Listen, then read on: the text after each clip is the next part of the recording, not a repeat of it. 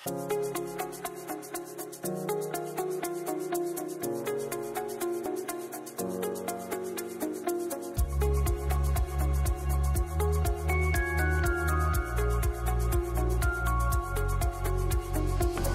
my name is Grace, and I'm a wellness specialist for Project Healthy Schools, and welcome to a Day in the Life Planning a Wellness Initiative.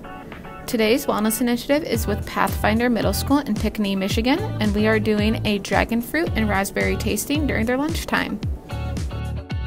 First, I make my way over to our office at Wolverine Tower in Ann Arbor and I pick up all the fruit that has been ordered by our administrative assistant. Thanks, Miriam.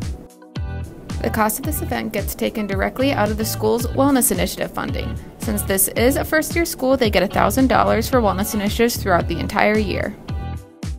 Once I load up all the fruit, I make my way over to the printer where I print the fact sheets that I create for the events. These fact sheets tend to have health benefits, nutrition facts, as well as fun facts for the students to learn about the foods they are eating.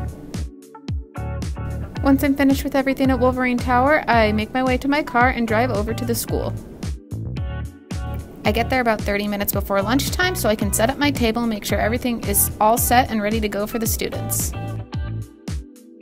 Here's a look at our table with everything set up. Once that's set up, I start to create the little dishes that students will come up and grab to try the fruits.